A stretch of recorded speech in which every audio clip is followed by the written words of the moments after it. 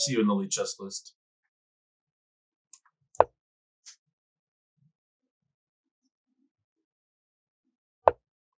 d4, c5, d5.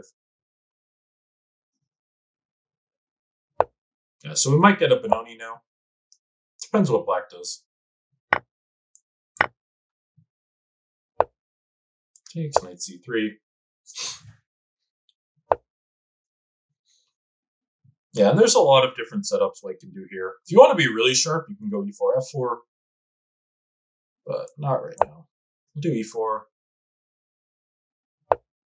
Bishop e7. So usually in the Benoni, the bishop goes here to control this diagonal.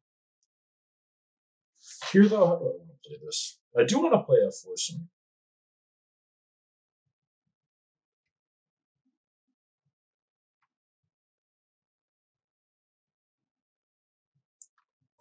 Let's just move the bishop out.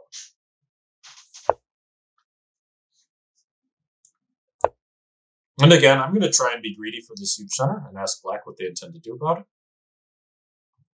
With the bishop on g7, there's this there's a clever tactic with b5. But here that doesn't work, unfortunately.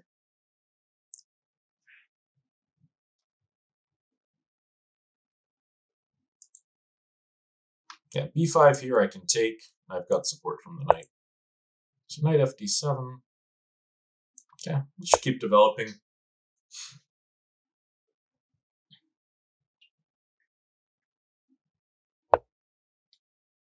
A6, control it with A4.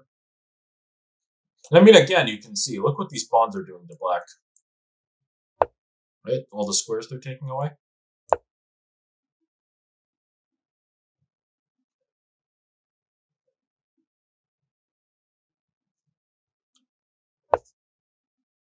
And if your opponent does some some system of development you're not sure how to handle, just I mean follow these principles, go for the center, get the pieces out.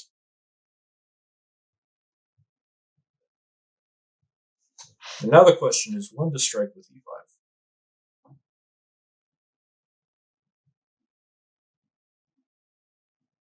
Actually, just to restrict a little more. I don't want to allow this straight, so I'll just play h3.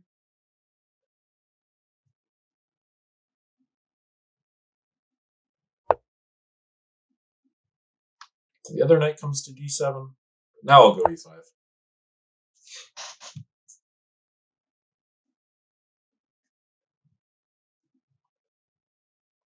And you can see, right? They're all stuck in this tiny box. Look up. What's the way to do this?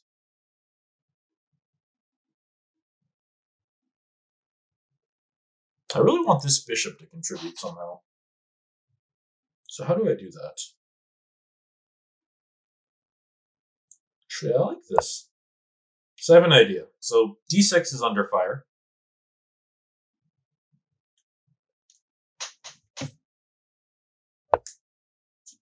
Ah, now I can take it.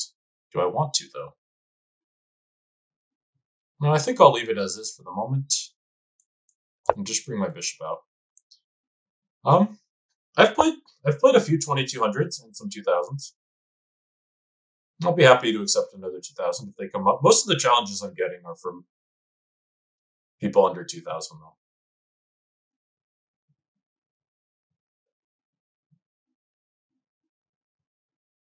So, yeah. You have to be a bit careful here.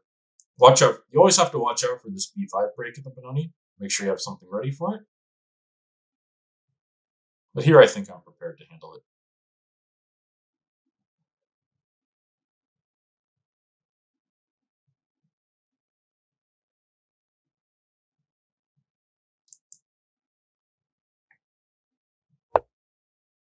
Up. And the bishop comes out.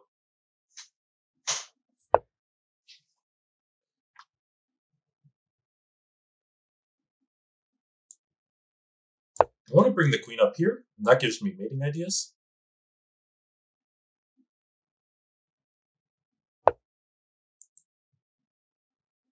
And actually, what is black doing after queen c3?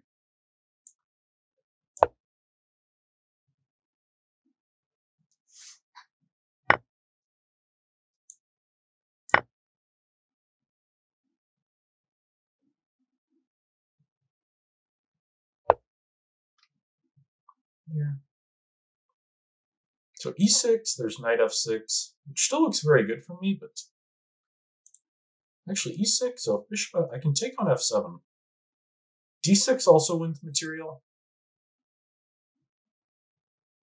Let's do it this way, actually. d6,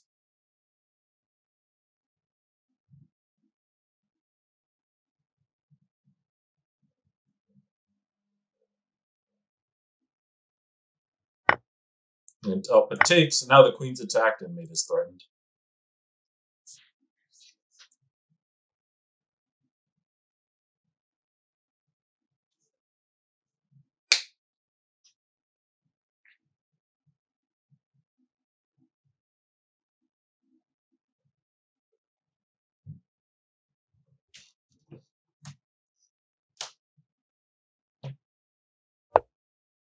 Rook e5 covers the mate, but I'll take queen.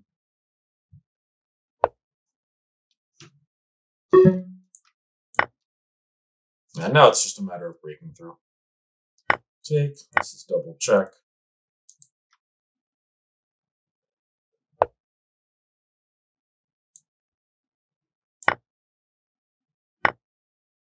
Check.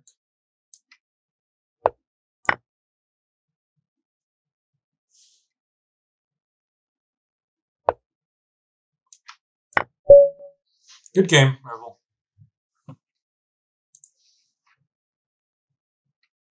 And again, I mean, you can see what these pawns are doing to black.